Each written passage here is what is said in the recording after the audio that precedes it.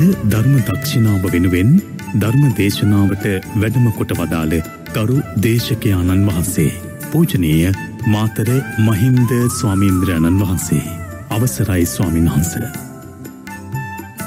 සමන්තහා චක්කවාලේසු අත්‍රාගච්චන්තු දේවතා සද්ධම්මං මුනිරාජස්ස සුනන්තෝ සග්ගමොක්කහදං දම්මස්සවන කාලෝ අයං බදන්තා ධම්මස්සවන කාලෝ අයං බදන්තා ධම්මස්සවන කාලෝ අයං බදන්තා නමෝතස්ස භගවතෝ අරහතෝ සබ්බ ධම්මේසු අපපටිහත ඥානචාරස්ස දස බලදරස්ස චතු වේසාරජ්‍ය විසාර දස්ස සබ්බ සත්තුත්තමස්ස ධම්මිස්සරස්ස ධම්මරාජස්ස ධම්මත්සාමිස්ස තතාගතස්ස සබ්බඥුනෝ සම්මා සම්බුද්දස්ස. නමෝතස්ස භගවතු අරහතෝ සබ්බ දම්මේසු අපපටිහත ඥානචාරස්ස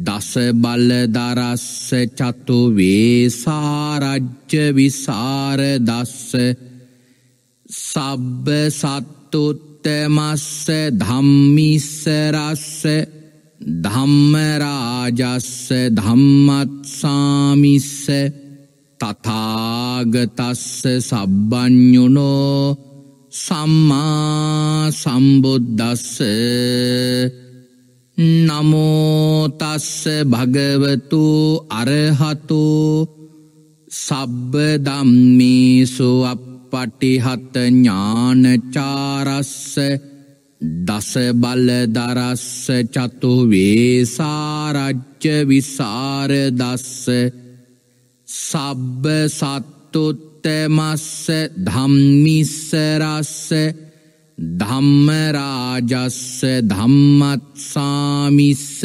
තතාගතස්ස සබ්බඥුනෝ සම්මා සම්බුද්දස්ස. උතුම්මෝ. භාග්‍යවතුන් වහන්සේට මාගේ උතුම් නමස්කාරය වේවා. ධම්මස්වාමී ලෝකස්වාමී. භාග්‍යවතුන් වහන්සේට අයිති ධර්මයක් දේශනා කරන මේ වෙලාවේ මාගේ මොවින් වැරදි වචනයක් පිට නොවේවා. මිත්‍යාදෘෂ්ටික වචනයක් පිට නොවේවා. මගේ අදහසක් ධර්මයට විරුද්ධව පිට නොවේවා. උතුම්මෝ භාග්‍යවතුන් වහන්සේගේ සත්‍යමෝ බුද්ධවචනය භාග්‍යවතුන් වහන්සේ සතුටු වෙන ආකාරයට දේශනා කරන්න මට ශක්තිය ලැබේවා. ඒ සඳහා සියලු ආර්යන් වහන්සේලාගේ අනුග්‍රහය ලැබේවා. සියලු සත්පුරුෂයන් වහන්සේලාගේ අනුග්‍රහය ලැබේවා. සියලු ශාසනාරක්ෂකයින් වහන්සේලාගේ අනුග්‍රහය ලැබේවා. හැම දෙනාටම භාග්‍යවතුන් වහන්සේගේම ධර්මය අවබෝධ කරගෙන උතුම් චතුරාර්ය සත්‍ය ධර්මයම අවබෝධ කරගනිත්වා. සාධූ සාධූ සාධූ ධර්මශ්‍රවනා බිලාසී ශ්‍රද්ධහ බුද්ධි සම්පන්න කාරුණික ගුණගරුක පින්වත්නී. අද දවසේදී මේ පින්වත් හැම දෙනාම මේ වෙලාවේ බලාපොරොත්තු වන්නේ භාග්‍යවත් අරහත් සම්මා සම්බුදුරජාණන් වහන්සේ විසින් ඔබෙත් මගෙත් නිවන පිණිස මහා කරුණාවෙන් දේශනා කොට වදාළ ස්වාසෝ දහසක් ධර්මස්කන්ධයන් අතරින් ඉතාමත්ම වටින ධර්මකාරණාවක් ශ්‍රවණය කරන්නටයි.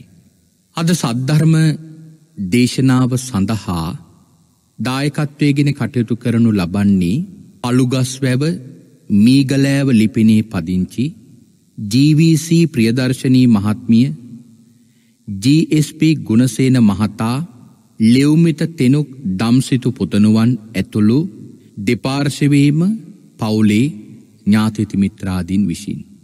අපි ඒ සත්පුරුෂ පින්වතුන්ට මුළු මහත් ලෝකයා කෙරෙහිම මහත් අනුකම්පාවෙන් මේ උතුම් සද්ධර්ම දේශනාව දේශනා කිරීම නිමිති කරගෙන අපි ඒ පින්වතුන්ට පුුණ්‍යානුමෝදනා කරන්නට බලාපොරොත්තු වෙනවා. එමනං අද දවසේ අදට නියමිත සද්ධර්ම දේශනාව ආරම්භ කරන්නටයි බලාපොරොත්තු වන්නේ.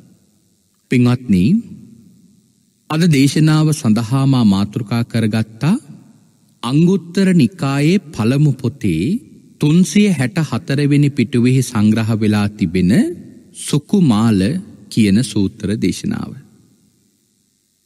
අපි භාග්‍යවතුන් වහන්සේ දවසක් භික්‍ෂූන් වහන්සේලාට දේශනා කරනවා සුකුමාලෝ අහං භික්කවේ පරම සුකුමාලෝ අච්චන්ත සුකුමාලෝ කියලා භාග්‍යතුන් වහන්සේ දේශනාවක් භික්‍ෂූන් වහන්සේලාට දේශනා කරනවා. අපේ භාග්‍යවතුන් වහන්සේ මේ දේශනාව දේශනා කළේ භාග්‍යවතුන් වහන්සේ වැඩහිටිය සමයේ එක්තරා ප්‍රමාදී භික්‍ෂූන් වහන්සේලා පිරිසක් මූලික කරගෙන. භාගතුන් වහන්සේ වැඩ ඉන්න කාලේ පෙඟුතුර එක්තරා ප්‍රමාදී භික්‍ෂූන් වහන්සේලා පිරිසක්. පංචකාමයට හිත නැඹුරු කරගෙන උණහන්සේලා උපවැදිවීමේ අපේක්ෂාවෙන් හිටිය.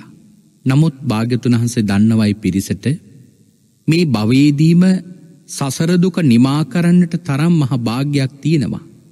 හැබැයි දැන් මේ ගන්න තීරණය නිසා උන්වහන්සේට තමන්ගේ ජීවිතේ තමන්ට නැවතත් දීර්ඝතර සංසාර ගමනකට යන්න උන්වහන්සේලා මඟ පාදා ගන්නෝ වගේ වැඩා. ඒ භික්‍ෂූන් වහන්සේලාගේ හිතේ තිබෙන මේ පංචකාමයට තියෙන නැඹුරුව ඇල්ම ඒ උපාදානය නැති කරන්න භාගතුන් වහන්සේ මේ දේශනාව කරන්නේ. මහනෙනි මම සුකුමාලයි. එකන මම සියුම් බොහොම සිව්මැලි ජීවිතයක් ගත කරපු කෙනෙ. පරම සුකුමාලෝ ඉතාම සියුම් ජීවිතයක් ගත කරපු කෙනෙ. ඉලන්ට දේශනා කරනවා අච්චන්ත සුකුමාලෝ. නොනවතින සැපයක් විඳපු කෙනෙ. භාග්‍යවතු වහන්සේ මේ කතා කරන්නේ උන්වහන්සේ ගිහිජීවිතය ගත කරන කාලේ සිද්ධහාරත මහ බෝසතාණන් වහන්සේව ඉන්නකොට විඳපු සැපේ පිළිබඳ. භාග්‍යතුන් වහන්සේ වෙලාවේ භික්‍ෂූන් වහන්සේලාට දේශනා කරනවා මහනිනී මම ගිහිජීවිතය ගත කරන කාලේ මොනතරම් සැපවින්දද කියල කියනවනම් මට අවුරුදු හතක් වෙනකොට කෙන සිද්ධහරත බෝසතාන් වහන්සේට අවුරුදු හතක් වෙනකොට ඒ සිද්ධහාර්ථ මහ බෝසතාණන් වහන්සේ ජලක්‍රීඩා කරන්න කැමති බව රජතුමා දැනගෙන අමාත්‍යවරුන්ට කියනවා කුමාරයට ජලක්‍රීඩා කරන පොකුණක් හදන්න කියලා.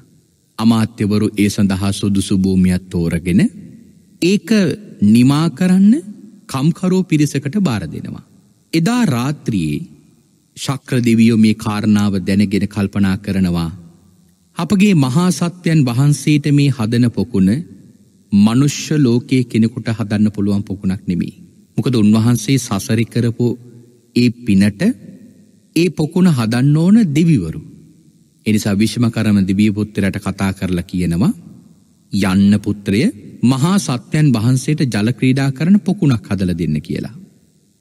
විශ්මකරම දිවිපුත්‍ර අහනවා ස්වාමීනී කොහොමද මං එක හදන්න ඕන සඳහන් කරනවා මේ පොකුණ හදන්න ඕන මඩ නැතුව. මැනි මොතු පබලු මෙන්න මේ සියලු රතනයන්ගෙන් වටවෙච්ච ප්‍රාකාරයක් තියෙනට ඕන. ඒ පොකුණට බහින්න මැනික් පඩි පෙලක් තියෙනට ඕන. ඒ පඩිපෙළේ අල්ලගෙන යන්න රත්තරෙනින් නිමකරපු අත්වැටක් තියෙන්න්නට ඕන. රිදීවලින් මැනික්වලින් හදපු පලක තියෙන්න්න ඕන. වාඩි වෙලා ඉන්න පලක තියෙන් ඕන රිදීවලින් මැනික්වලින් හදපු. ඊළඟට රත්තරනින් රිදියෙන් මැනික්වලින් හදපු නැවතියෙන්න්නට ඕන. ඒ රත්තරං නැවේ රිදී පළගක් තියෙන්න්නට ඕන. රිදී නැවේ රත්තරං පළගක් තියෙනට ඕන. මැනික් නැවේ පබොලුවලින් හදපු පළගක් තියෙනට ඕන. පබොලු නැවේ මැනික්වලින් හදපු පළගක් තියෙනට ඕන. ඊළඟට පින්වොතොනී රත්තරනින් රිදියෙන් මැනික්වලින් පබොලුවලින් හදපු නාලිකාවලින් ඒ පොකුණට ජලයහින්නට ඕන. ඊළඟට පංච වර්ණයගෙන් යුක්ත මල් තියෙනට ඕන.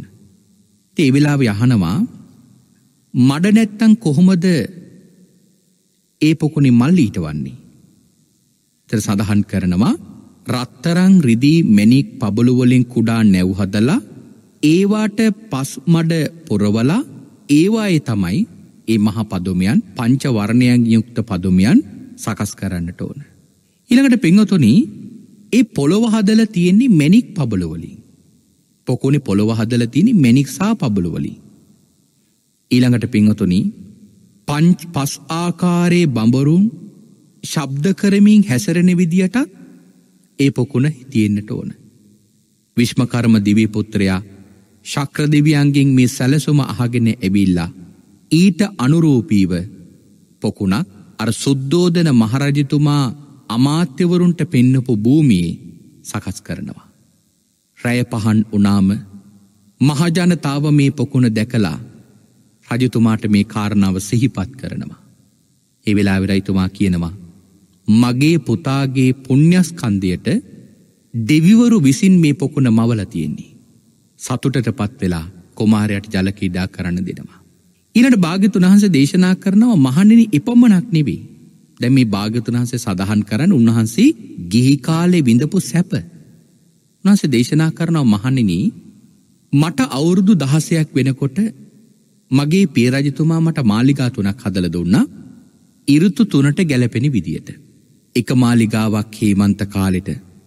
හේමන්ත කාලට හදපු මාලිගාව තට්ටු නමයක් උසයි. දැන් රම්ම සුරම්ම සුභ කියල මාලිගා තුන හැදවා ඒ මාල්ලිගා තුනම එක හා සමාන උසකින් තියෙන්නේ. ඊළඟට පිංහොතුනී හේමන්ත මාලිගාව තට්ටු නමයක් උසයි. තට්ටු අතර තියෙන පරතරී ඉතාම කුඩයි. මොකද ඒ මාලිගාව හදන්නේ සීතල ඉරතුවට ගැලපෙන විදියට. ඊළඟට පිංහොතුනී ඒ මාලිගාවේ පොළොව හදල තියෙනව එක්තරා පාෂාන වර්ගයකින් ඒ පාෂාන වර්ගේ විශේෂත්වයක් තියෙනවා ඒ පාෂාන රත් වෙනවා. දොරවල් ජනෙල් හදල තියෙනවා කුඩා සිදුරක්වත් ඇති නොවෙන විදියට. ඊළඟට මාල්ලිගාවේ හැමතැනකම චිත්‍ර ඇඳල තියෙනවා. ඇඳල තියෙන චිත්‍ර ගිනිදැල් ආදී හැඩතල එන විදිය චිත්‍ර. එක අරමුණ තමයි කුමාරයට සිතුවිල්ලකින්වත් හිතෙන්න දෙන්න හොඳ නෑ තමන් ඉන්න මේ සීත ඊර්තුවේ කියලා. ඊළඟට පිංහොතුනි බොමුතුරුණු අඳින වස්ත්‍ර මේ සියල්ලක්ම හදල තියෙන කම්බල කියන වස්ත්‍රවලි. දහවල් කාලයට දොරජනිල් ඇලල තබනවා රාත්‍රී කාරයට දොරවල් ජනිල් වහල තියෙනවා. ඉනට බිංගතුනි ගිම්හාන ඉරතුවේට හදපු මාල්ලිගාවත් හේමන් තිරතුවට හදපු මාල්ලිගාව තරම්ම උසයි. හැබැයි ඒ ගිම්හාන ඉරතුවට හදපු මාලිගාව තට්ටු පහයියොස තට්ටු අතර තියෙන පරතරි වැඩි. ඒ මාලිගාව පිංහතුනි දොරවල් ජනෙල් හදල තියෙනෙ විවර සහිතව සහ දැල් සහිතව. ඉළඟට බිත්තිවල ඇඳල තියෙන චිත්‍ර ඇඳල තියෙන්නේ මල් පිපිල තියෙන සභාවයක් ඇතිවෙන විදිේ චිත්‍ර. ඊළඟට පිංහතුනි බුමුතුරුණු අඳින වස්ත්‍ර පොරෝනා වස්ත්‍ර මේ සියල්ලක්ම සකස් කරලා තියෙන්නේ සියුම් සලුවලි. ඊළඟට පිංහතුනි ජනෙල්ලඟ විශාල්ල නැලි තබල ඒවාට ජලයපුරවල ඒවා එපින් ඔතනි මල් හිටවලා. ඒ මල් සුවඳවත් වෙන මල් තමයි හිටවල තියෙන්නේ. ඊළඟට පිංහතුනි මාල්ලිගාව වටේට උදක යන්ත්‍ර හදල තියෙනවා. ජල්ල විදින යන්ත්‍ර. ඊට මාලිගාවේ වහලට හදල තියෙනවා වහල සෙවිලි කරලා තියෙනවා සතුන්ගේ සම්වලි. අර උදකයන්ත්‍රවලින් ජලය විදිනවා හරියට මාලිගා ඇතුළට දැනින්නේ දෙවිවරු වෙහි වස්සවන වගේ.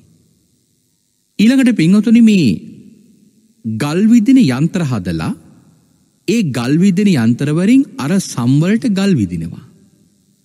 හරියට ඒ හඬ පිංහතුනි සඳහන් කරලා තිබෙන්නේ ගොරවන ශබ්දයක් මාලිගාව ඇතුළට ඇතිවෙන වගේ කියලා. තට කුමාරයා දන්නවා දැම්මේ වහිනවා. දැම්මේ ගොරවනව කියලා. ඊළඟට පිංහතුනී දහවල් කාලයට දොරබල් ජනිල් වහලා තියෙනවා රෑට දොරබල් ජනිල් ඇරලා තියෙනවා. ඊළඟට තුන්වෙනි මාලිගාව තමයි වර්ෂාව කාලට හදපු මාලිගාව. ඒ මාලිගාවත් කලින් මාලිගා දෙක සමානවම උසයි ඒ මාලිගාවේ තට්ටු උස තට්ටු හතයි.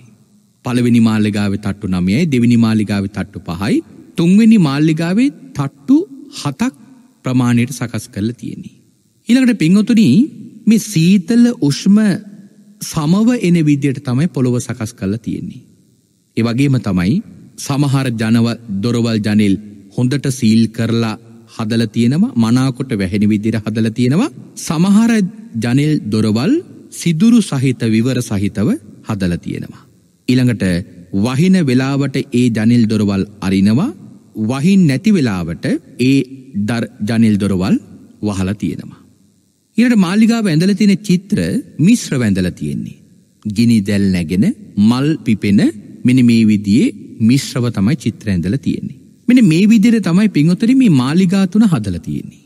පිංහොතර මේ මාලිගාතුන වාසය කරනකොට දවසක් සුද්දෝදන මහරයිතුමාට තමන්ගේ පුතාට විවාහයක් කරගන්න ඕනේ කියන සුදුසු කාලය ආවම ඒ පිළිබඳ යෝජනාවක් ඉදිරිපත් කරනවා. එතරදි කියනවා ශාක්‍ය රජවරුන්ට පණිවිඩයක් යවනවා තමන්ගේ කුමාරිකාවන් මාලිගාවට වන්න කියලා. පිංහතුනි එදා ඒ ශාක්‍ය රජවරු සිද්ධහාර්ථ කුමාරයට අභූතින් චෝදනාවක් ඉදිරිපත් කරනවා. චෝදනාව තමයි සිද්ධහාරත කුමාරයාට උසස් රූප සම්පත්තියක් තියෙනවා. එක අපි පිළිගන්නවා. හැබැයි සිද්ධහාර්ථ කුමාරය ශිල්ප දන්නිනේ. ඒ නිසා ඔහුට අපේ දියනෙවරු රකින්න බෑ. එහෙම කෙනෙකොට අපේ දියනෙවරු දෙන්න කැමැත්තක් නෑ කියලා අර රාජ කුමාරවරු සිද්ධාර්ථ කුමාරයට අබෝතයෙන් චෝදනාවක් කරනවා. ඇයි මෙහෙම කුමාරයට චෝදනාවක් ඉදිරිපත් කළේ. මංහිතර මෙනි මේ කාරණාවත් මේ වෙලාවේ සාකච්ඡා කරන්නට පුළුවන්නන් ඉතාම වැදගත් කියලා. මොකද පිංඔතුනී අපි කුඩාකාලේ ඉඳලම අහල තියෙන වැරදි අදහසක් තියෙනවා. ඒ තමයි අපේ මහබෝසතාණන් වහන්සේ සිද්ධහාරත කුමාරය අවුරුදු දහසේදී ශිල්පිගෙන ගත්ත කියලා.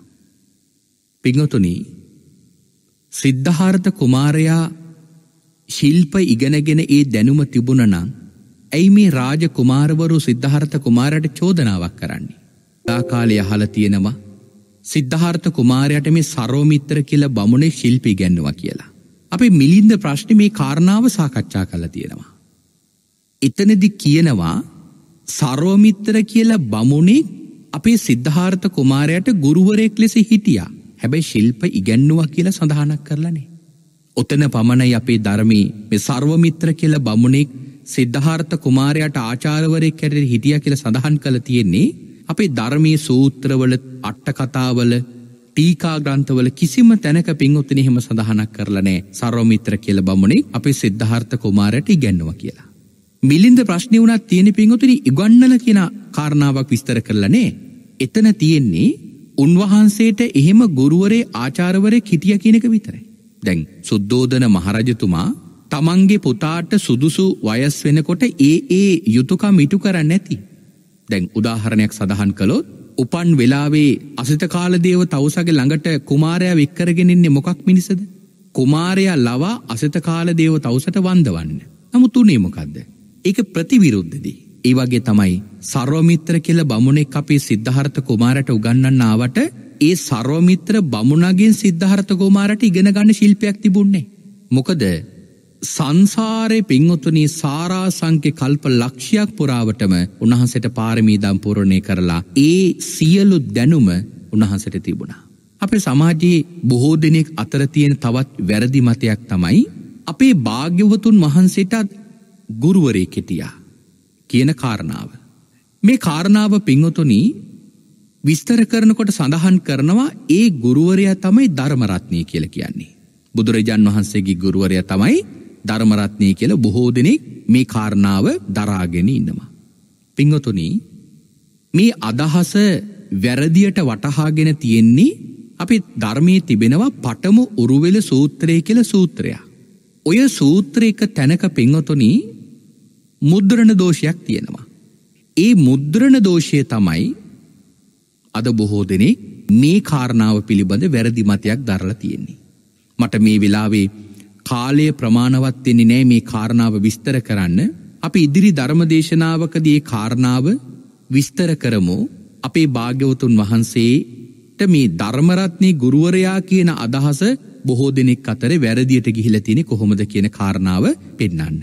අපේ පින්ගොතට මම මේ කාරණාව ඉස්මතු වෙච්ච නිසා මේ සූත්‍රය සඳහන් කරේ පටම උරුවල සූත්‍රය ඊළඟට තවත් සූත්‍රයක් තියෙනව ගහාරව සූත්‍රය. තට පටමුරුවල සූත්‍රයේ තිබෙන මේ මුද්‍රණ දෝෂය නිවැරදිව දැනගන්නට නම් ගාරව සූත්‍රයත් අපේ පින්ඔතට බැලුවතින් ඒ කාරණාව නිවැරදි කරගන්න පුළුවන්. එකම වචනයක් වෙනුවෙන් අර්ථයන් දෙකක් තැන් දෙකක දීල තියෙනවා තකොට ඒ අර්ථ දෙකෙම හිතාගන්න පුළන් මේ මුද්‍රණ දෝෂය මොනවගේද කියලා. මම ඔබට මේ කාරණාව තේරුම් කරගන්න එක කරුණක් සෙහිපත් කරන්න. දැන් අපේ බුදුරජාණන් වහන්සේගේ ගුරුවරයා ආචාරවරය ධර්මරත්නය නම් භාග්‍යතුන් වහන්සේ ආචාරත්වයෙන් ගුරු තනුතුරෙහි තබා ධර්මරත්නය සැලකුව නම්. ඒ ගුරු ධර්මය නැමති ගුරුවරයාගේ ළඟ අපේ භාග්‍යතුන් වහන්සේ ගැනෙන්නේ මොන ගණයටද ශිෂ්‍ය ගණයට. අපේ භාග්‍යතුන් වහන්සේ වැඩඉන්නේ ශිෂ්‍ය භාවේ. එතකොට පින්හොතුනී සාමාන්‍ය මේ සම්මත ලෝකෙ වනත් ගුරුවරයෙක් ශිෂ්‍යයෙක් කියන මේ දෙන්නෙක් ඉන්න තැනක ඉහලින්ම ඉන්න ඕන ගුරුවරයාද ශිෂ්‍යයද ගුරුවරයා.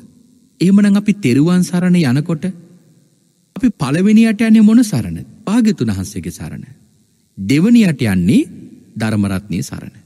එතකොට පින්වතුනී භාග්‍යවතුන් වහන්සේ ශිෂ්‍ය භාව ඉන්නවනං ධර්මරත්නය ගුරුතැන්හි තබාගෙන කටයුතු කරා නම් අපි පළවෙනියට සරණයන්න ඕන එහෙනම් ධර්මරත්නය සරණනේ.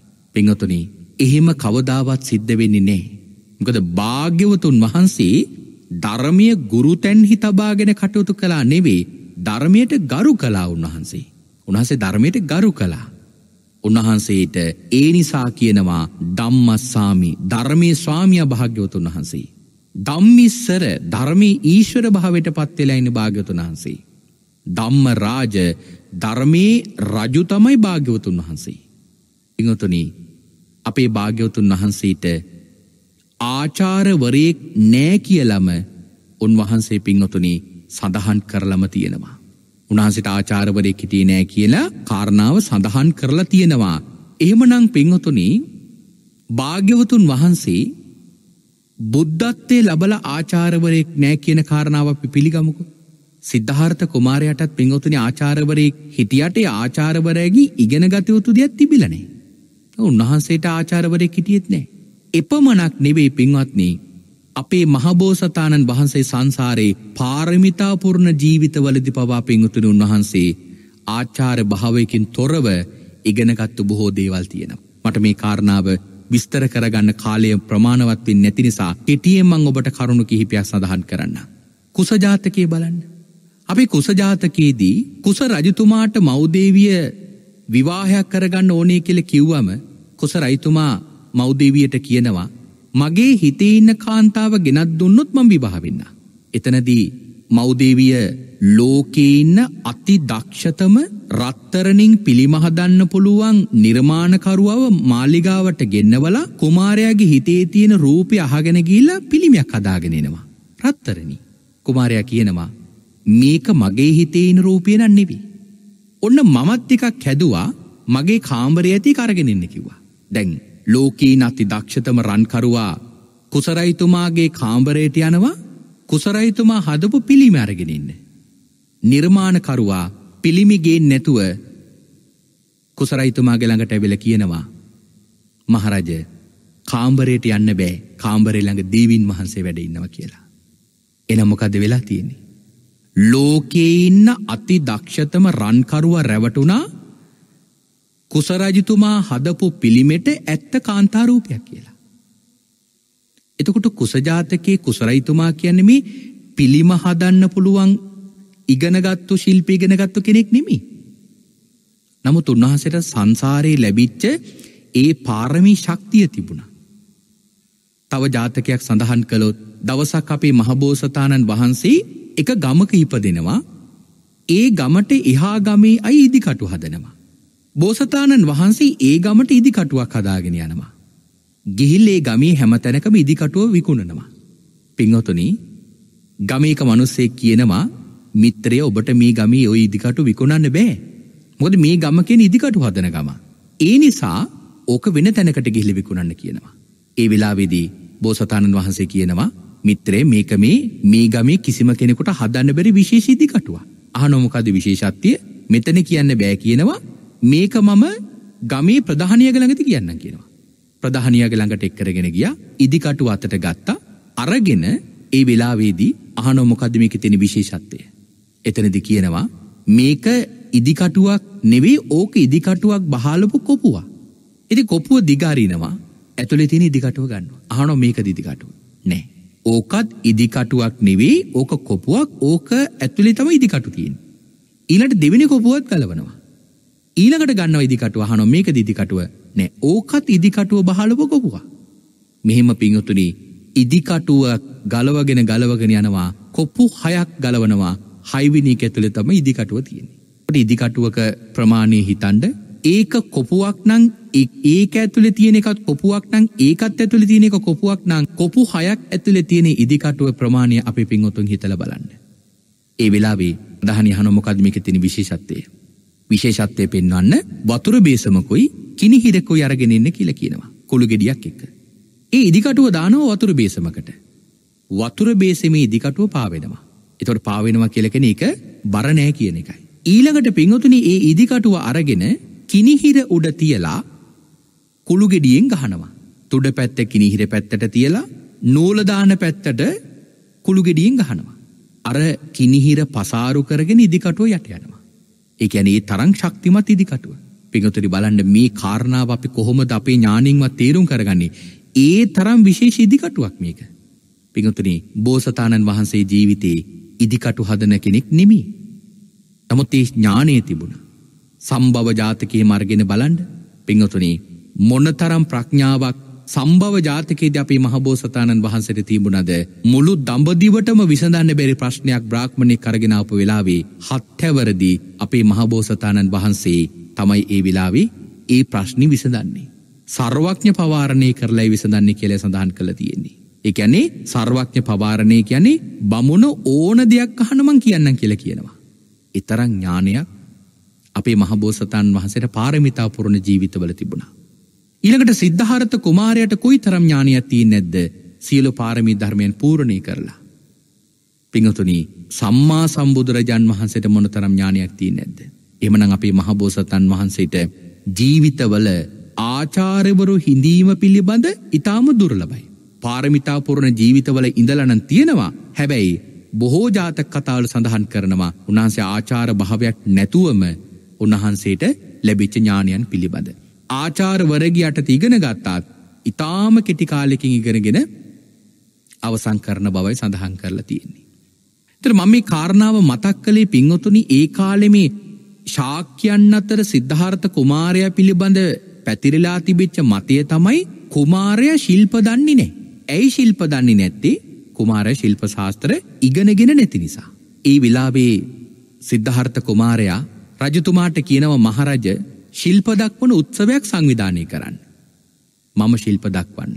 පෙංහතුනී ශිල්ප දක්වන උත්සවේදී මොන මොන වගේ ශිල්ප දක්වන්නද කියලා සිද්ධහර්ථ කුමාරයා පිරයිතුමාගෙන් අහගෙන ඒ උත්සවේ වෙලාවේ ශිල්ප දක්වනවා. ඔන එක ශිල්පයක් සඳහන් කරනවා දහසක් දෙනෙක් එකට එකතු වෙලා අදින්න තරම් ප්‍රමාණී දුන්නක් අරගෙන. ඒක වරපට දාහක් ශක්තිවන්ත පුරුෂෝ දාහකගේ ශක්තියක් තියෙනට ඕන ඒ අදින්න. තොට එවැනි දුන්නක් අරගෙන පිංහතුනී ඊතල දාහක් අහසට විදල තියෙනවා.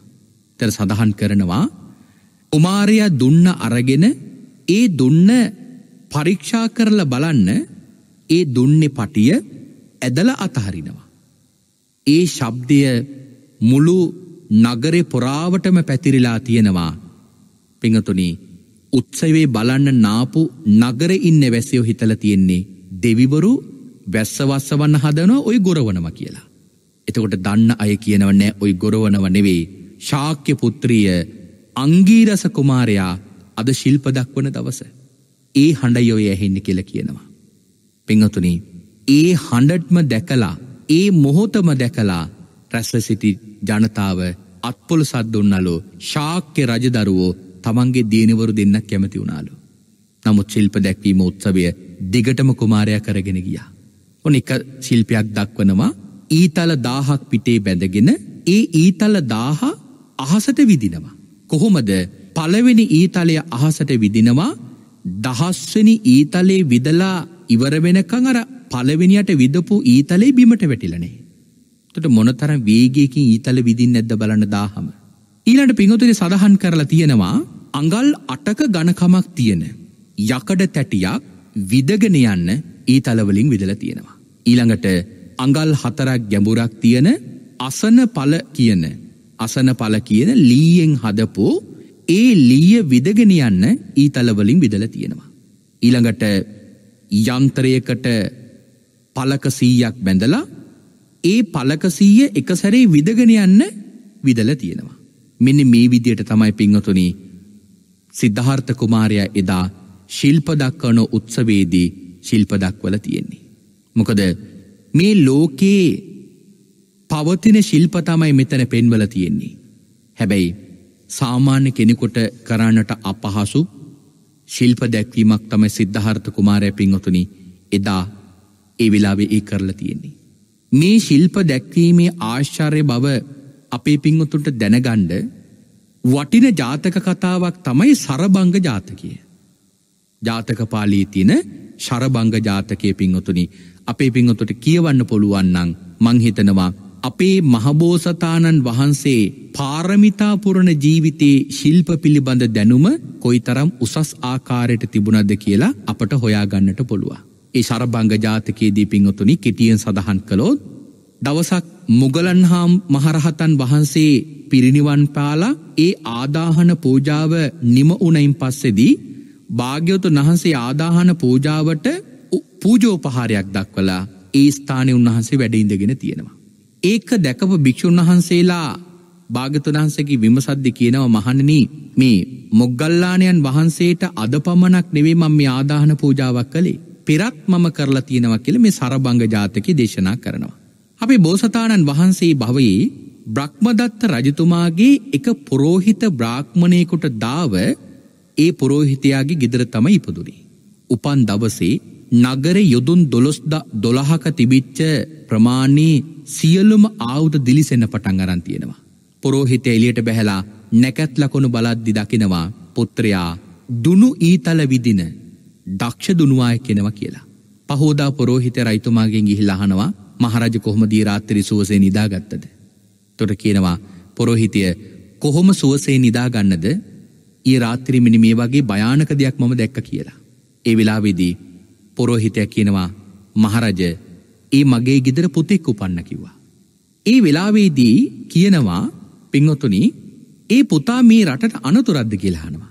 එතකොට කියනව නෑ මහරජ මේ පුතා ඔබේ රාජ්‍යයට ඉතාම හිතවත් දක්ෂ දුනුවාය කෙනවා. එහෙමනං පුතාව පෝෂණය කරන්නේ කියලා දවසකට කහවනු දාහගානේ පුතාට ලබල දුන්න.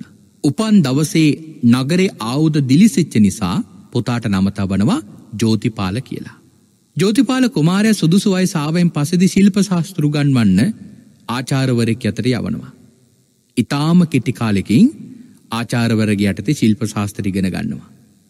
බ්‍රහ්මදත්ත රයිතුමාගේ රාජ්‍යයට ආවම පුරෝහිත රයිතුමාට ඉදිරිපත් කරලා රජතුමාට පක්ෂ දුනුවායෙක් හැටිට පත් කරනවා.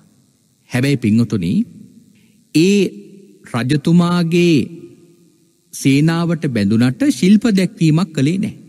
හැබැ කැමදාම කහවනු දාහගාන ගෙවනවා. අනිත් අමාත්‍යවරු සෙන්පතියෝ කල්පනා කරා ජෝතිපාල කුමාරට විතරක් ඇයි මෙතරම් සැලකිල්ලා. ඔහු ශිල්ප දක්වන අපි කවදාවත් දැකල නෑන කියලා. මේ චෝදනාව කරාම රයිතුමා පොරෝහිතය ලවා ජෝතිපාල කුමාරයක්ගෙන් ශිල්ප දක්වන උත්සවයක් සංවිධානය කරා.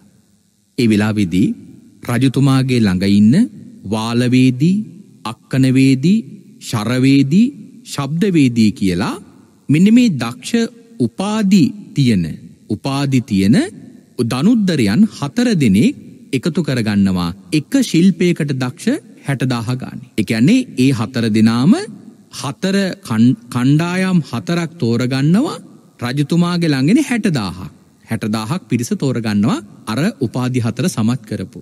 ඒ විලාවේදී පිංහතුනී ජෝතිපාල කුමාරයා වේදිකාවක් හදලා ඒ වේදිකාව මත ඉන්නවා. අර හතර දෙනාටම දෙනවා එක්කෙනෙකොට ඊතල තිස්දාහ ගානි. දීල හතරකොනේ දක්ෂයෝ හතර දෙනෙක් තියලා හතර දෙනාට කියනවා නුඹලාගේ තියෙන වීරියෙන් මට විදින්න.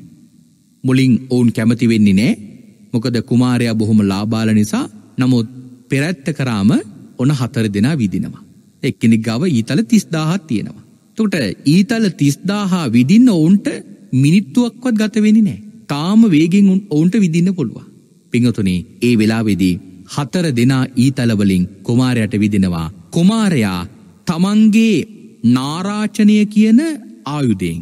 නාරාචනය කියල එක්තර ආයුධයක් තියෙනවා මේ ආයුදයෙන් අර සියලුම ඊතල නවත්තලා තමන්ට පහරදන ඊතල නවත්තලා ඒ ඊතල තමන්ගේ වටේ පළවෙනි ඊතල පේලියක් තමන්ගේ වටේ පොළොවේ ඇනෙනසේ හිටවනවා.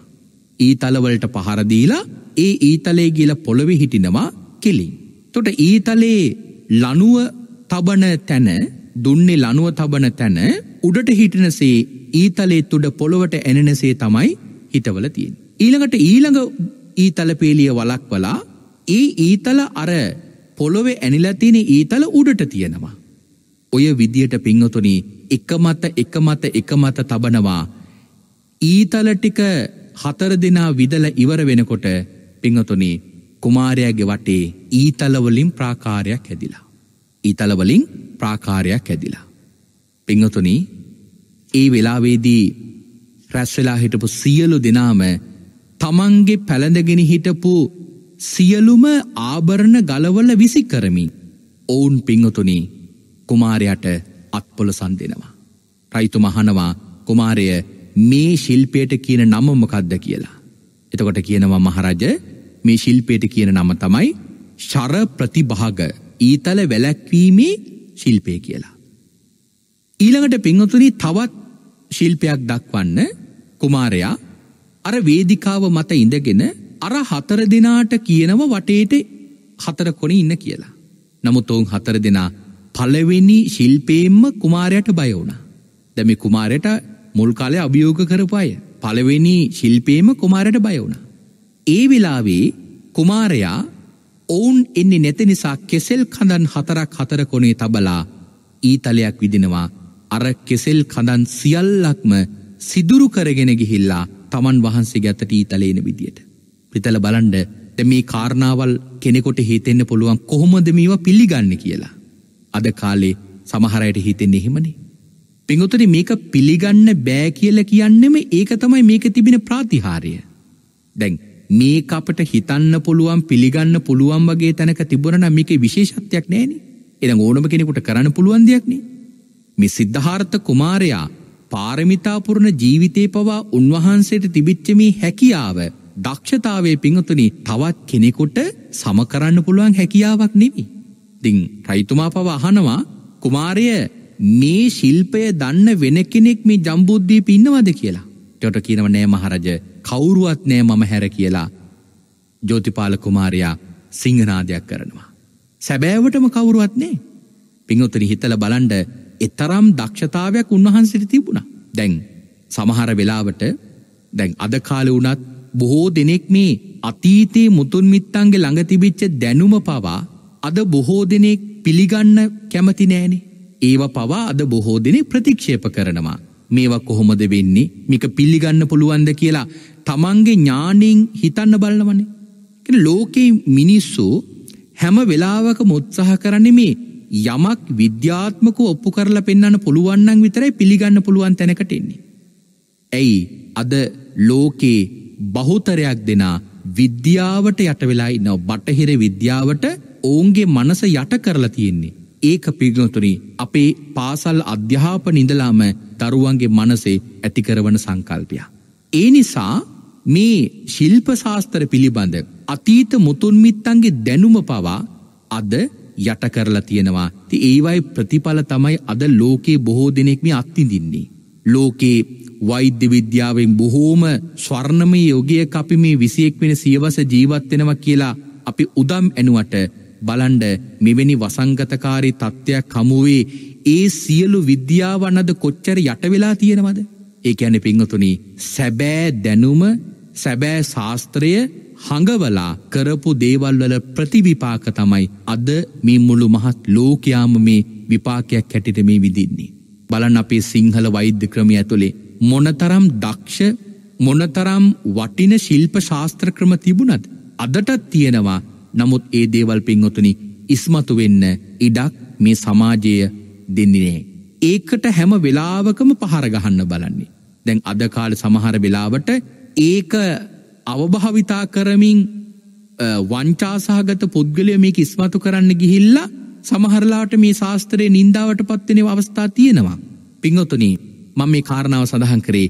ඒ පුන් ඒ යම් යම් කාරණාවල් ඉස්මතු කරමින් අද සිංහල වෛද්‍ය ක්‍රමයට මේ සිංහල ලාංකිකයන් තුළ තිබිච්ච අතීත මුතුන්මිත්තන්ගේ දැනුම යටගහන්ඩ ඒව හැල්ලෝට ලක් කරන්න ඔවුන් විශාල වෙහෙසක් දරනවා. හැබැයි පිංුතුනි දවසගානෙ මහරෝහලකට ගිහිල්ල බලන්ඩ ඒ මහරෝහලේ හැම පෑකටම කී දෙනෙක් මැරණවද කියලා රෝහල්වල ගිහිල්ල බලන්න කී දෙනෙක් මැරණවද කියලා. පිංහතුනී ඒ ඔවුන්ගේ ශාස්ත්‍රය නිවැරදිම නම් පිංහතුනී අද බොහෝ දෙනෙක් එහෙනම් ඒ තත්ත්වයකට පත් වෙලා මරණයට පත්වෙන විදියක් නේ. නමුත් අද වෙලා තියෙන්නේ අද ලංකාවේ බොහෝ දෙනෙකොට වෙලා තියෙන තමන්ගේ ළඟ තිබිච්ච මේ වටිනාදේ නැති කරගත්තා ඒක ප්‍රතිවිපාක තමයි අද බොහෝ දෙනෙක් මියත්තිදින්නේ. ස මම මේ කාරණාව මතක් කළේ ඔබට කෙටියෙන් අපි ළඟ තිබිච්ච මේ විශාල දැනුම් පද්ධතියක් තිබුණ. ඒක දැන් අද වඳ වෙලා තියෙනවා. ඒ නිසා මෙවැනි කාරණාවල් කිව්වට බොහෝ දෙනෙකුට ලැබෙන අවබෝධය ඉතාම අඩුයි ශ්‍රද්ධහවන්ත කෙනෙක් කාරණාව පිළිගත්තාත් පිංහොතුනි අසද්ධහවන්තයොන්ට නම් මේ කාරණාව පිළිගන්න පුළුවන් තැනකනේ. මොකද ධර්මය කියන කාරණාව මේ ලෝකයේ උසස්මදිය. දැන් අද අපි ධර්මීදියවුනත් අතීතේ මේ ආර්යන් වහන්සේලා මේ ධර්මය කටපාඩං කරගෙනාව මුළු ත්‍රිපිට කට්ට කතාම කටපාඩං කරගෙන උන්වහන්සල් දරාගෙන ආව කෙල කිව්වට අද ඒ කාරණාවත් විවේචනය කරනවනේ එච්චර ගොඩක් කොහොමද මතකතියාගන්නේ කටපාඩං කරගන පුළුවන්ද කියලා ඇතැම් ආකාරයේ වැරදි මත සමාජගත කරන්න උත්සාහ කරනවනේ පින්වත්නී ඒකට ප්‍රධානතම හේතුව තමයිර තමන්ට තියෙන නොහැකියාව මේ මුළු ලෝකේම තියෙන නොහැකියාව බවට හිතනවා. ඒ නිසා ඔවුන් ඒ කාරණාවෙන් ඒ තමන්ගේ දැනුමින් තමන් පිරිහීමට පත්වෙලා තියෙන්නේ. දැන් ලංකාව වනත් අපිට අධ්‍යාපන ක්‍රමිය තුළ සකස් කරලා තියෙන්නේ හැම වෙලාවකම විද්‍යාවට නැඹුරු කරලා. ඒ නිසාද දෙමවපියෝනත් වර්තමානීන දෙමවපියෝනත් ළමයින්ව තරමින් ඈත් කරවලා උගන්වන ඉගැන්වීම් රටාවකට තමයි මේ ළමයව අරගෙන යන්නේ. එනිසා ළමයට නිවැරදි දහම් දැනුම ලබල දෙන්නේ නිවැරදි අවබෝධයක් ලබල දෙන්නේ. ඒ නිසා පින්ඔතුනි ළමය ඒ පැතට නැඹුරු වෙන්නේනේ. නමුත් හැබැයි ලංකාවේ අද වෙනකොට ඇතැම් ළමයි මේ ධර්මී ඉගෙනගන්න ඔවුන් මහා වෑයමක් දරනවා. ඒක මම හිතන්නේ අපට සතුටුවෙන්න පුළුවන් කාරණාවක් මොකද දෙමවපියන් තුළ ඒ අවබෝධය ඇතිකරවීම පිළිබඳ. ති මම කෙටියෙන් මතක් කළේ පින්ඔතුනී මේ කාරණාවල් කෙනෙකුට නොපිළිගන්න හිතෙනවනං ඒක එහෙමම තමන්ගේ දැනුමින් ඒ කාරණාව පිළිබඳ තීන්දු තීරණවලට යන්න එපා මේක තමයි මේ ලෝකෙ පවතින දැනුම. ඉතින් මම මේ සරබංග ජාතකෙ කෙටියෙන් ඔබට මතක් කළේ අපේ පින්වතුන සරබංග ජාතකය කියව ගන්න පුළුවන්නම් මං හිතනවා මේ කාරණාවල් මීට වඩා හොඳට අපේ පින්වතුන්ට තේරුම් කරගන්න පුළුවන් කියලා. තොට මම මේ කාරණාව මතක් කළේ සිද්ධහාර්ථ මහබෝසතාණන් වහන්සේදා ශිල්ප දක්වන උත්සවේ නිමා කරාම ශාක්‍යයෝ තමන්ගේ කුමාරිකාවෝ හතලිස්ථාහක් කුමාරයට ලබල දුන්නා. ඉළඟට පින්වතන සඳහන් කරනවා එක මාලිගාවක එක්ලක්ෂ අනූ හයදාහක් කුමාරිකාව වාසය කරා කියලා.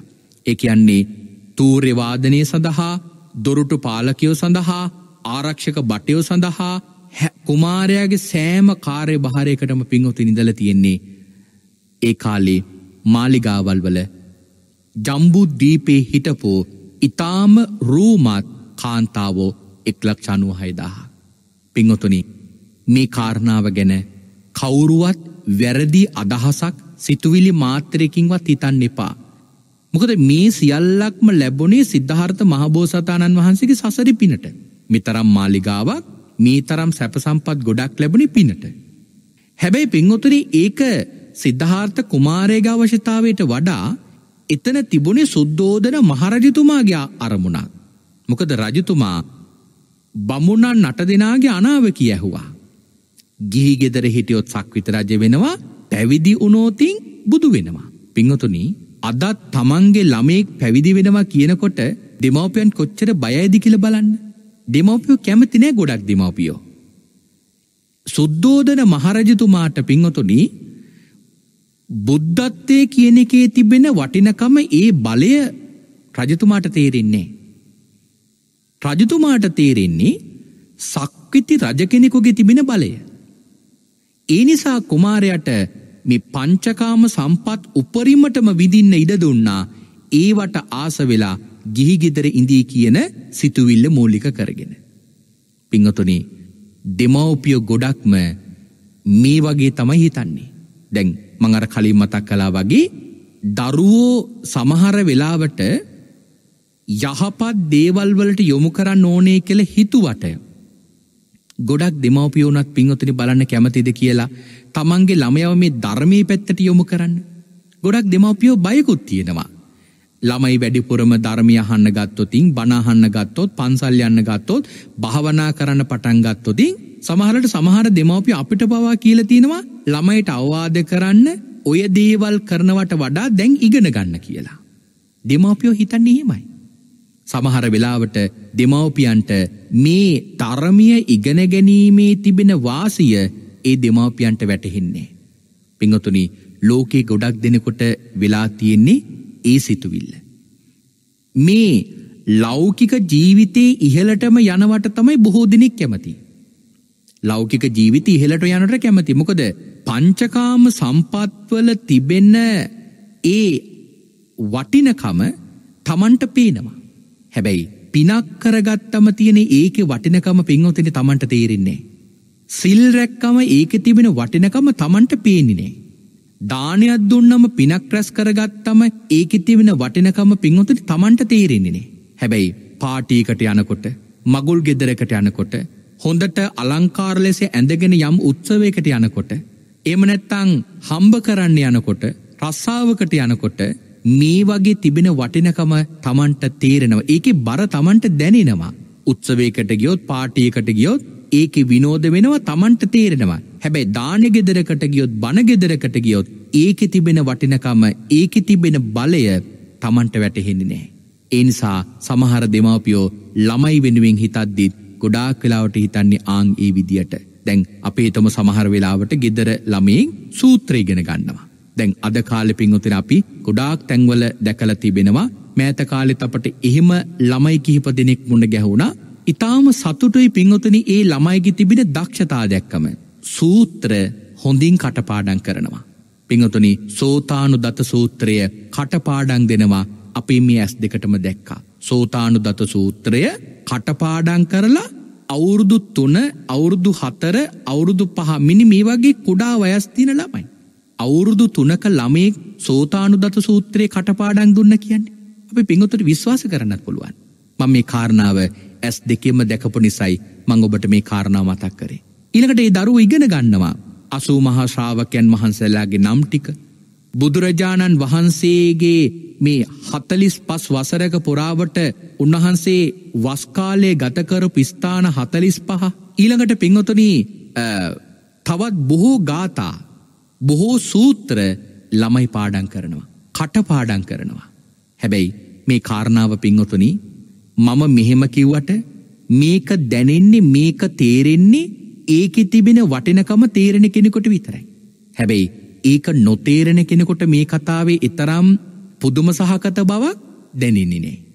මොකද අපිතුම ළමෙක් අපි ලෝකයේ ප්‍රබල රටක උසස් රටක මෙන්න මෙහෙම විශ්වවිද්‍යාලෙක ඉගෙන ගන්නවා. ඒමනැතම් මෙන්න මේ වගේ තරගෙකට ඉදිරිපත් වෙලා ඒකෙන් ප්‍රථමස්ථානය ලබාගෙන තියෙනවා. ඒම නැත්තං මෙන්න මේ වගේ පොතක් ඒ ළමේ කියවල තියෙනවා. මේ වගේ පොතක් කටපාඩන් කරගෙන තියෙනවා. එහෙම කිවෝතින් සමහර දෙමාපියන්ට ඒක තිබෙන ආශ්චරය වැටහෙනවා. හැබැයි ළමෙක් සූත්‍ර කටපාඩන් කර ළමෙක් ධර්මය කටපාඩන් කරා කිවෝති ඒක තේරෙන්නේ එක නොතේරෙන්නෙම කාටද දස මාර සේනාවට යට වෙලා ලෞකික පංච කාමයට නැඹුරු වෙච්චායට විතරයි. හැබැයි සසර පිළිබඳ අවබෝධයක් තියෙන. සංසාරයේ පිළිබඳ යහපත් දැක්මක් තියෙන කෙනෙකුට පින්වතුනි මේ ධර්මය කටපාඩන් කරන ළමයෙක්කින්නවා කියලකිවෝතින් එක සමහර දෙනේ සාධකාරදීලා අනුමෝදං කරගන්න තරම් සතුටෙන පුළන් පොන්නි කර්මයක් හැටියටයි ඔවුන් හිතන්නේ. මොකද සසර පිළිබඳ අවබෝධයක් තියෙන අයට නං ඒක ආශ්චර්යක් ඔවුන්ටම තේරෙනවා. එනිසා පින්ඔතුනිමි සුද්දෝදන මහරජතුමාටත් සක්විති රජ කෙනෙකුගේ තිබෙන බලය තේරුණාට සුද්දෝදන මහරජතුමාට පිංහතුනී සම්මා සම්බුදුරජාන් වහන්සේගේ බලය තේරෙනි නේ. එනිසයි මේ පංචකාම සම්පත් උපරිම විදින දුන්නේ. නමුත් භාග්‍යතුන් වහන්සේ දේශනා කරනව මහණෙන ඒ තරම් සැපසම්පත් ගොඩක් විඳපු මට ඒ තරම් සැපසම්පත් ගොඩක් විඳපු මට සතරපෙර නිමිති දකිනකොට මටර තිබිච්ච පංචකාම සම්පත්වල තිබිච්ච ආශාව ඒ මාන්‍යයන් මට සම්පූර්ණයම ප්‍රහාණි වුණා කියල කියනවා. සූත්‍රයේදී සඳහන් කරනවා මහනිනි එදා මම මේ පංචකාම සම්පත් විදිනකොට ඒවායේ තිබෙන ආදීනව මට සතර පෙර නිමිති දකිනකොට හිතුන කිව්වා. කොහොමද මම ජරාවට පත්තිච්ච මනුස්්‍යය දැක්කම ජරාව පිළිබඳව යම්කිසි මාන්‍යයක් මගේ හිතේ තිබුණනම් කෙන මම කවදාවත් ජරාවට පත්තින්නේ එතනදි කැන යව්වන මදිය. තරුණකම පිළිබඳ මානයක් මට තිබුණනං ඒ මානය සඳහන් කරන භාග්‍යතුන් වහන්සේ සෝ සබ්බසෝ පහි සම්පූර්ණයම ප්‍රහාණි වුනා කියලකිව්වා. දැන් අසෘතවත් පෘතක්ජනයක ස්භාවේ තමයි ජරාවට පත්තෙච්ච කෙනෙක් දැක්කම තමන් තරුණනං තමන් ජරාවට පත්වීමක් පිළිබඳ හිතන්නේ නැතුව ඔහු අර ජරාවට පත්වෙච්ච මනුසය පිළිකුල් කරනවා. ඉළඟට නිරෝගී මනුස්සේ රෝගියෙක් දැක්කම තමන්ට ආරෝග්‍ය මදයක් එනව මමනං කවදාවත් ලෙඩවෙන්නේ නෑ කියලා. මරණයකට පත්වෙච්ච මනුසෙක් දැක්කම මමනං මෙහෙම මැරුණේ නෑ කියලා ජීවිත මදයහිනවා.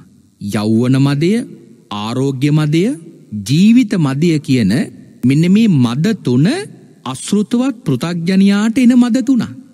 පිංහතුනී මහබෝසතාණන් වහන්සේ අර මාලිගාව සැපසම්පත් පිඳිනකොට ඒ මහබෝසතාණන් වහන්සේට මේ මද තුනම සර්වාකාරයම ප්‍රහණි වුණයි කෙළ සඳහන් කළ තිබෙන්නේ. සර්වාකාරයම ප්‍රහණි වුණ. මොකද ඒ මදතුන උන්වහන්සේට ඒ විදියට ලැබිලා උන්වහන්සේ ඒවයි තින ආදීනව තමම්ම මිනිහි කරා ඒ නිසා තමයි උන්වහන්සේට නිර්වාණයට යන්න ඕනේ කෙන හැඟීම එදා සිතුවිල්ලක් ඇතිට ඇවිල්ල තියෙන්නේ. එමනං අපේ පින්ඔතුන් මිනිමේ කාරණාවෙන් අධිෂ්ඨාන කරගන්න. තමන්ටත් කවදාවත් ජරාවට පත්වෙනකං ජරාවට පත්වීම පිළිබඳ හිතන්න ඉන්න එපා. යෞවනත්තේදීම තමන්ගේ ජරාබව තමන් හිතන්ඩ. ආරෝග්‍ය නිරෝගීකමෙන් ජීවත් වෙලා ඉන්න කොටම තමන්ගේ මේ ජීවිතය ඕන වෙලාවක රෝගී තත්ත්වයකට පත්වෙන්න පුළුවන් කෙන කාරණාව හිතන්න. මරලගෙදරකට ගියාම මැරණකංගින් නැතුව තමන්ටත් මෙහෙම මරණයට පත්වෙන වෙයි කියන සිතුවිලි හිතන්න මොකද ඔය මදතුවන තියෙන නිසා තමයි අදකාලෙ බොහෝ දෙනෙක් පව් කරන්නේ. මොකද යෞවන මදිය තියෙනකොට හිතනවා කෙනෙක් ගැහුවම ගිහිල ගහන්න ඕන. කෙනෙක් බැන්නොත් ගිහිල බනින්න ඕන. තමන්ටර තරුණකම පිළිබඳ තියෙනවල්ලොකු මාන්‍යයක්. ඒකන බලන්නු අද කාල දැන් යතුරු පැදිවලින් අනන්ත ප්‍රමාණ අනතුරු වෙලා ජීවිත නැතිවෙච්ච පුවත් ඕන තරන් දකින ලැබෙනවා. හැබැයි ඒව දැක දැක තරුණීන්මකද කරන්නේ ඊට වඩා වේගෙන් තමන්ට හැකියාවක් තියෙන බව පෙන්න්න යතුරු පැදිවලින් ගමන් කරනවා. මොකක් නිසාද. අර තරුණ මදී නිසා. සමහර වෙලාවට නිරෝගීකම තියෙන අය මත් පැන් බොනවා ඉළඟට මද්‍රව්‍ය වලට ඇබ්බැහි වෙනවා තමන්ට රෝගී තත්ත්වයක් නෑ. ඒම රෝගී වෙච්ච පුවත් ඕන තරන් තියෙනවා නමුත් ඒ දේවල් කරනවා. ඊළඟට දැන් ගෙදරකට සතෙක්කාවොත් බලන්නකො තරුණ කෙනෙක් ඒ සතාව මරන්න කොච්චර වෑයමක් දරනවද කියලා. තමන්ට මේක කරන්න පුළුවන් තමන්ට මේ සතා මරන්න පුළුවන් කියන එක තමන්ට හිතට එනවා ලොකු මාන්‍යයක් ඒ මාන්‍යන්නේ මොකක් නිසාදර යව්වන මදේ නිසා. ඊළඟට කෙනෙක්ව රවට්ටන්න බොරු කියනවා. ඊළඟට බලන්න කාමී වරදවා හැසිරෙනවා. බොහෝ දෙනේ කාමේ වරදවා පවා හැසිරෙන්නේ මේ යෞවන මදිය නිසා. එනිසා මම මේ කාරණාවබට මතක් කළේ මේ මදතුන තියනකොට තමයි බොහෝ දෙනෙ පව් කරන්නේ. හැබැයි අපේ මහබෝසතාණන් වහන්සේ සංසාරේ ගිහිජීවිතේ සැපවිඳිනකොට තමයි පින්වතුන් උන්වහන්සේ මදතුර නැති කරගෙන තියෙන්නේ. මංහිතර මේ කාරණාව තවත් දීර්ගව සාකච්ඡා කරන්න තරම් වටින දේශනාවක් කියලා නමුත් කාලේ නිමාවට පත් වෙලා තිබෙන නිසා අදට මේ දේශනාව අපි නිමාවට පත් කරනවා. අද නියුතුම් සද්ධර්ම දේශනාව තුළින් අපි බලාපොරොත්තුනේ මං කලින් මතක් කර සුකුමාල සූත්‍රයේ භාගතුනාස දේශනා කර අර ප්‍රමාදයට පත්පෙච්චයින් වෙලා උපවිදිවෙන්න හිටපු භික්‍ෂූන් වහන්සලා පිරිසකට ඔවුන්ගේ ප්‍රමාදී බව නැති කරන්න. එනිසා භාග්‍යතුන් වහන්සේ ගිහිකාලෙ උන්වහන්සේ සැපවිඳිනකොට මේ යෞවන මදය ආරෝග්‍ය මදය ජීවිත මදය නැතිකර ආකාරය පිළිබඳ උන්හන්සේ විදුපු සැපසම්පත් දේශනා කරමින්ම මේ දේශනාව දේශනා කරනවා. එමනං එතරම් සැපසම්පත් ඉඳපු සිද්ධහාරත මහබෝසතාණන් වහන්සේත් ඔය කියන මදතුන නැතිකර ගත්තනම් ඉවැනි සැපයක් පිළිබඳ විශ්වාසයක්වත් කරන්න බැරි අපිට අපි විඳින සැප ගැන කුමන කතාද කියල තමයි අපේ පිංහතුට හිතන්න තියෙන්නේ. එමනං තමන් තමන්ගේ සැපේ පිළිබඳ තමන්ගේ තරුණකම පිළිබඳ තමන්ගේ නිරෝගීකම පිළිබඳ තමන්ගේ ජීවිතය පිළිබඳ කිසිදු ආකාරයකට මාන්‍යයක් ඇති කරගන්න පමොකද යව්වනත් පින්න කෙන කවදහරි දවසක වයිසට යනවා. නිරෝගිමත් ඉන්න කෙන කවදරි දවසක ලෙඩ වෙනවා ජීවිත මදේ තියෙන කෙනා කවදරි දවසක මරණයට පත්තිනවා. මේ කාරණාවල් තුන නිවැරදිව වටහාගෙන අපේ ශ්‍රාවක පින්වතුන්ට මේ ධර්මය මනාකොට අවබෝධ කරගන්නට ශක්තිය දහිරිය ලැබේවා කෙන ප්‍රාර්ථනාවෙන් අපි මේ දේශනාව නිමාවට පත් කරනවා. හොඳ එහෙමනං අද දවසේදී මේ උතුම් සද්ධර්ම දේශනාව මුළු මහත් ලෝකයා කෙරෙහිම මහත් අනුකම්පාවෙන් දේශනා කරවන්නට ධර්මදේශනාවේ දායකත්වය ගෙන කටුතු කරනු ලබන පින්වතුන්ට පුුණ්‍යානුමෝදනා කරන්නට බලාපොරොත්තු වෙනවා. අද දේශනාවේ දායකත්වය ගෙන කටුතු කරනු ලබන්නේ පළුගස්වැව මීගලෑව ලිපිනේ පදිංචි GVC ප්‍රියදර්ශනී මහත්මිය GSP ගුණසේන මහතා සහ ලියවමිත තෙනුක් දම්සිතු පුතුණුවන් ඇතුළු දෙපාර්ශවේම පවුලේ ඥාතිතිමිත්‍රාදීන් විසින්. එපිංගුතුන් බලාපොරොත්තු වෙනවා මීට මාස හයකට පෙරමිය ගිය ඒ බණ්ඩාරමෙනිකි මෑණියන්ටත් මාස නවයකට පෙරමිය ගිය KB දිසානායක මාමාටත් වසර දහ අටකට පෙර මියගිය නාවක් කොළ මේ විසූ ශිරාණය ප්‍රේමලතා පුංචි අම්මාටත් වසර දාහතරකට පෙර පියගිය අලුත් ගන්තිරියාගම විසූ සුනිල් ශාන්ත බාප්පා ඇතුළු සියලුමියගේ ඥාතීන්ට පින් අනුමෝදන් කරන්නට බලාපොරොත්තු වෙනවා. සසරපින් බලාපොරොත්තු වන සියලුමියගේ ඥාතින් පින් අනුමෝදන් වේවා.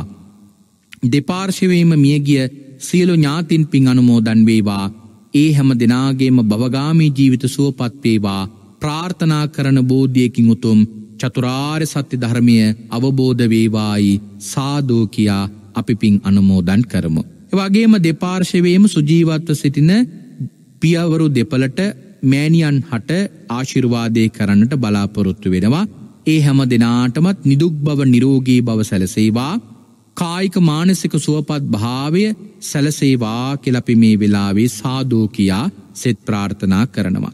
වගේම දේශකයන් වහන්සේ ඇතුළු මහ සංගරත්නයටත් දෙපාර්ශමය සුජීවත්ව සිටින දෙමවපියන්ට ඥාතීන්ට ගුරුවරුන්ට කල්්‍යයාන මිත්‍රන් හැම දෙනාටමත් සෙත් ප්‍රාර්ථනා කරනවා නෙත්කාරි මණ්ඩලි පින්වත් හැම දෙනාටමත් නිශ්‍රාවකීන්ටත් ලංකාවාසි ලෝකවාසි හැම දෙනාටමත් උතුම් ධර්මාවබෝධයම පිණිස මේ උතුම් ධර්මදානමී පිණි හේතු වාසනාවේවා කළ ප්‍රාර්ථනා කරනවා. අවසානයේ ඔබ අප හැම දෙනාටවත් කෙටිම කාලයකින් පහසුම ආකාරයෙන් සුකසහගත ප්‍රතිපදාවෙන් සියලුදුකින් මිදෙම්වා මේ සියලු කෙලෙස් බරින් නිදහස්වෙම්වා අජර වූ අමර වූ නිවන ලැබ සැනසෙන්න්නට මේ කුසල්ලුතුම් පාරමිතාවක්ම වේවායි සාධූ සාධූ සාධූ කියාපී ප්‍රාර්ථනා කරගමු.